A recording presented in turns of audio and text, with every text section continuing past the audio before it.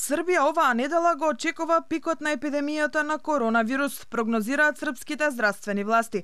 Потоа, според проценките, бројот на заболени ќе почне да опаѓа. Болниците ни Србија забрзано се полнат. Многу луѓе со COVID-19 исто така имаат сериозна пневмонија. За да дишат, им треба кислород. Потрошувачката во Србија е поголема од кога било порано. За тоа сведочат изјавите на лекарите и службениците кои предходните денови изјавија дека сегашната и редовната состојба не може да се споредат. A onda smo imali najčešće 150 pacijenata koji su iziskivali kiseoničnu potporu. Mi smo trošili više od 5 tona kiseonika dnevno, a u normalnom režimu rada mi trošimo sve to za 3 meseca. Samo za jedan dan se potroši kiseonika na teritoriji Vojvodine kao što se ranije trošilo sad već skoro za dva meseca. KBC Zvezdara za jedan dan potroši kiseonika koliko u normalnim uslovima troši za više od mesec dana.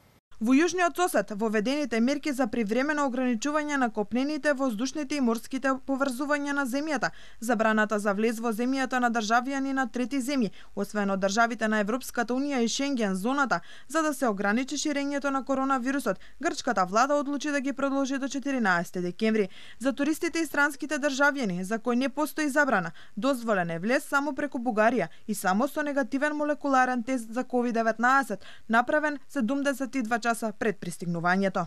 Во главниот град на Албанија, 60 годишен пациент со коронавирус синоќа скокнал од прозорецот на болницата во Тирана, а ова е пети пациент кој си го одзел животот на тој начин. Настраданиот пациент бил во болница 10 дена каде се лекувал од коронавирусот, пренесува албанската агенција НОА. Како што пренесува агенцијата, полицијата е на терен и го испитува случајот. На стариот континент, во Англија, по еден месец блокада заразата опаднала за 30%, покажало големото истражување во кое учествувале повеќе од 100 100.000 волонтери.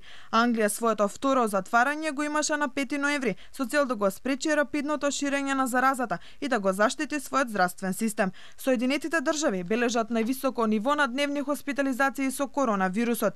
Над 93.000 пациенти се сместени во болниците во текот на последното денонуќе. Тој број ги надмина податоците од саботата, кога беа хоспитализирани 91.635 лица, пренесува CNN. На глобално ниво, од почетокот на пандемија пандемијата на коронавирусот се потврдени 63 милиони случаи на заразата. Од последици на COVID-19 починале 1.465.000 лица, а во моментот во светот има активни над 18 милиони случаи.